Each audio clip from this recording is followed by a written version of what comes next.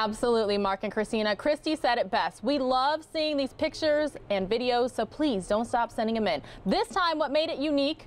Pretty much everybody let Mother Nature, whether it's actually, you know, the weather or animals, do the talking. That means there's no, like, human interaction in these videos. Let's take a listen to this first one.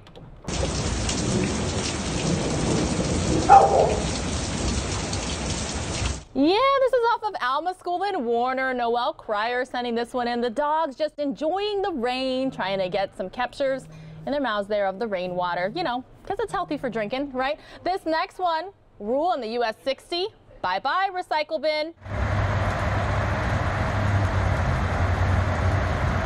It's floating down the street there. This video sent to us by Clint Brunke. Thanks so much for that. This next one we've got for you.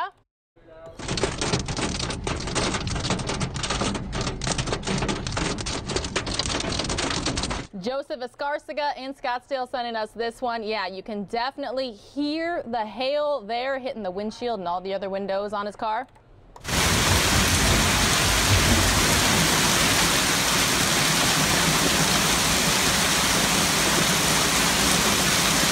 It came down today where Jennifer Kane was. This is in North Phoenix. And then one more. This one's in Cave Creek. Let's listen in.